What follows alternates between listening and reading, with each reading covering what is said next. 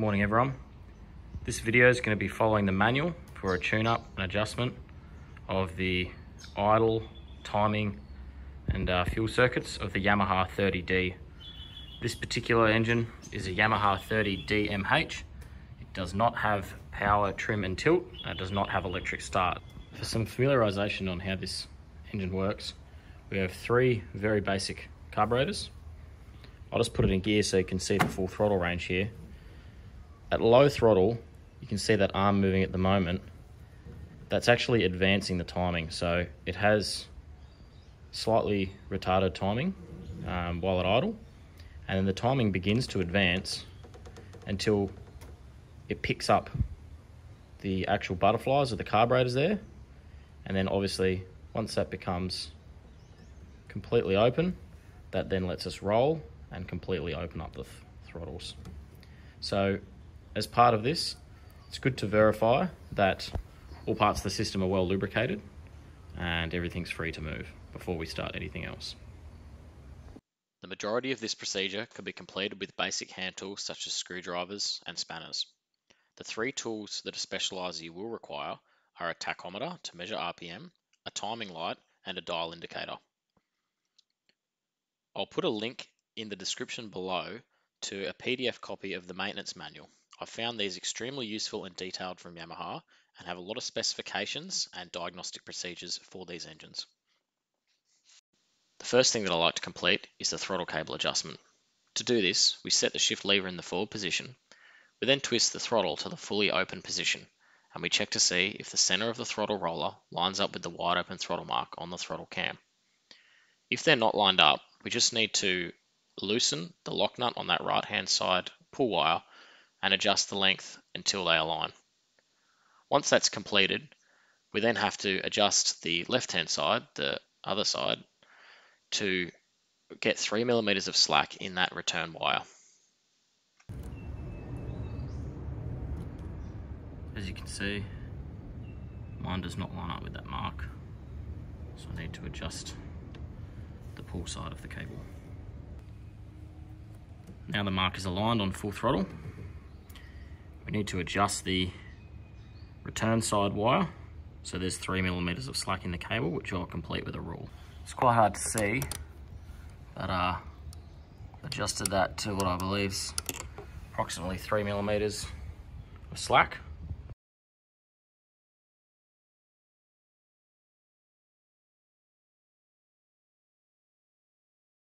Okay, so now we're at the more interesting parts of the adjustment, I suppose, now that we've got some of the basics done.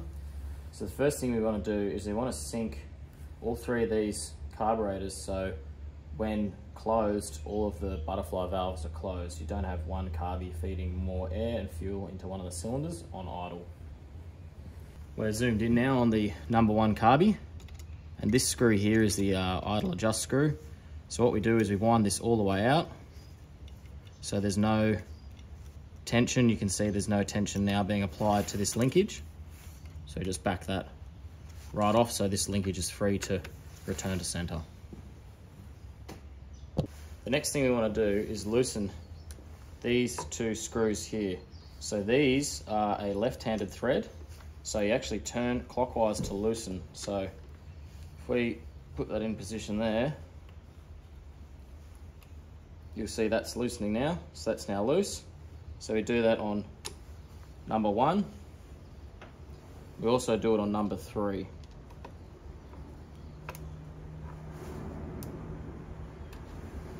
So now that we have these two linkages loose compared to the uh, actual butterfly in the carb, what we do is we lightly apply some pressure to the return side, so pressing this way on the center carby, on the roller, and then we tighten these. Once again, these are a left-handed thread, so we're actually going anti-clockwise to tighten.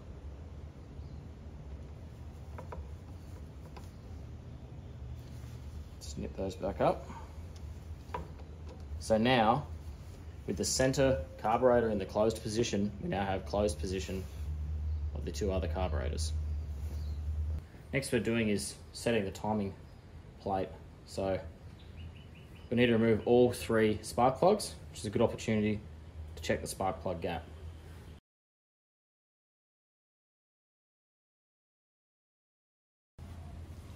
So here I've got some uh, feeler gauges. And just checking. That's perfect. That's for one millimeter for this engine. Now we can begin the ignition timing adjustment procedure. There are three parts to this. The first is verifying that your timing plate is correctly aligned. The second is setting the fully advanced timing. And lastly the fully retarded timing.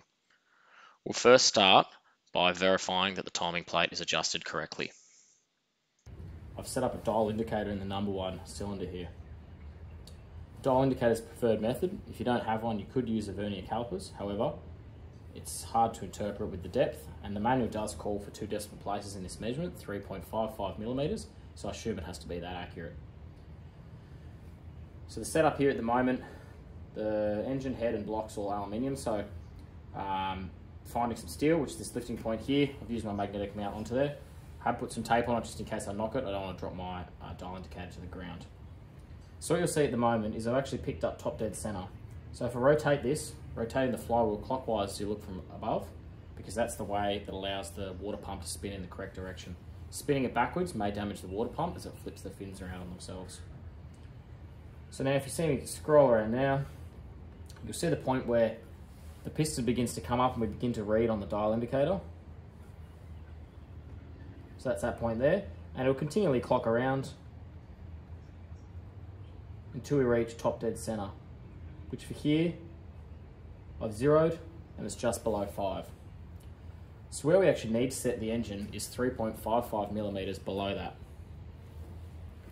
So for me, on this dial, position myself over here so I can see better, where I need to go to as I said, it was approximately zeroed and on the five millimeter mark. So I need to go down back to somewhere between one and two, and then 0.55 away from that zero. So if I go to the four, five past one, that should be correct. Continue to turn until we pick it up. Should be pretty close now. So I go past one, increase,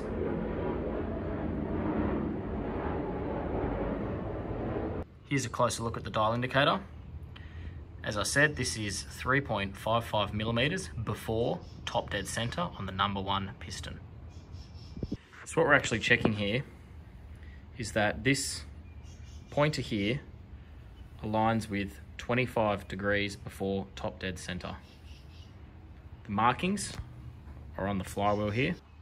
It's hard to capture with the camera, but my uh, pointer lines up perfectly, which is what you'd expect uh, from the factory. So this step is only to account for if there's been any um, big knocks around that pointer or anything like that, but I think it's still good to verify before you undertake the other steps to know that you're working with the correct timing. Leaving the timing in the same position it is, which is 25 degrees before top dead center, we now need to set the fully advanced timing position. Our next task is setting the magneto control lever, which is this one, to the fully advanced position. We'll be aligning this line and that line on the flywheel. So what I like to do here is rather than push that by hand, once again we're in gear, is actually to twist the throttle and that will take us to the fully advanced position. You can see that's where the throttle takes over. We're fully advanced here. We'll adjust it slightly so that aligns. Simply undo the lock nut.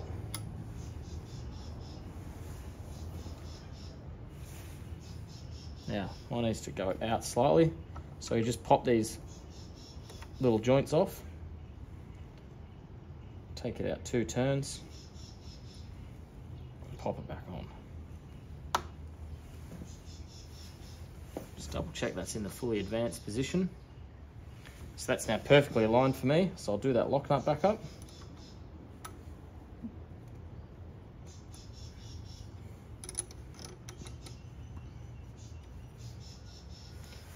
Cycle that a few times to make sure we're reaching the correct position, which we are.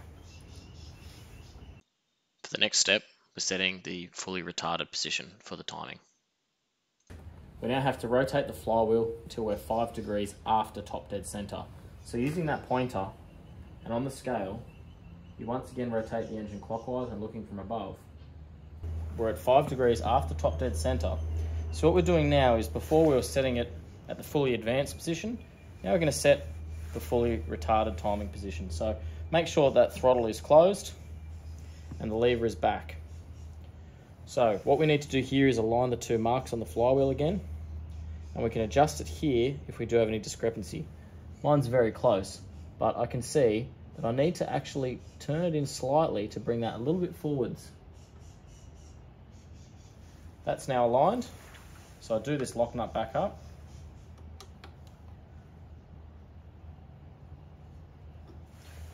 And that's the fully retarded timing position.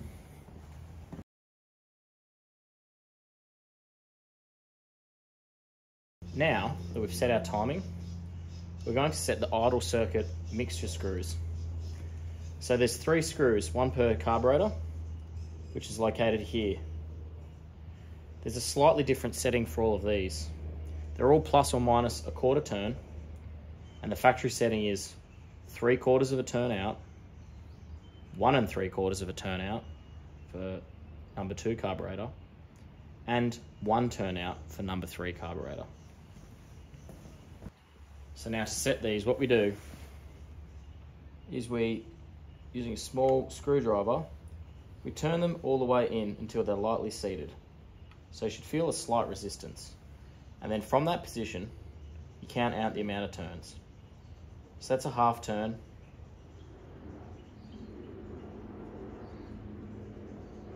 And now three quarters of a turn. For the next, we have one and three quarters. Once again, we tighten it all the way in and we count out. That's a half, that's one, that's one and a half,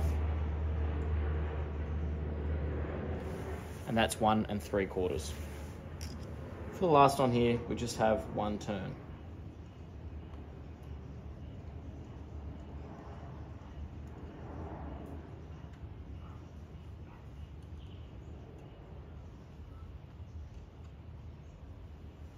So we have half turnout, and that makes one turnout.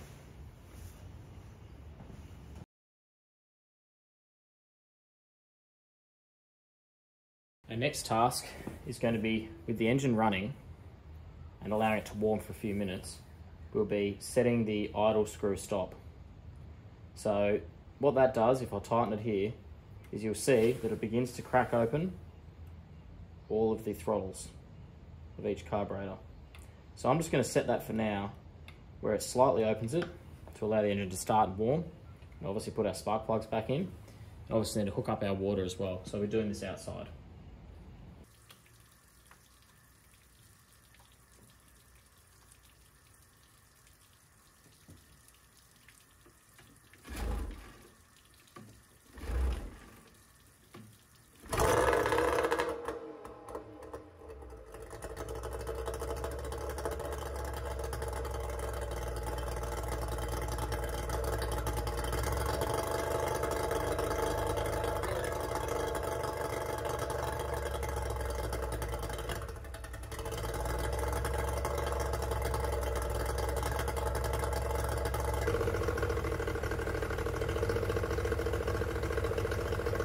So I've let the engine warm for a few minutes and I'm now using the tachometer to set the idle speed. Personally, I like to have an idle approximately 800 to 850 RPM. The manual specifies 750, but I just find it to be a little bit higher, just runs a little bit smoother. Our last step in the process is to set the pickup timing. This should be done after the idle speed has been set. The pickup timing is effectively when the roller on the throttle cam is picked up at what advanced timing. So what we need to do is slightly advance until we are at 2 degrees after top dead center. So that is 2 degrees retarded timing. And then we will set the roller so it is lightly contacting the cam.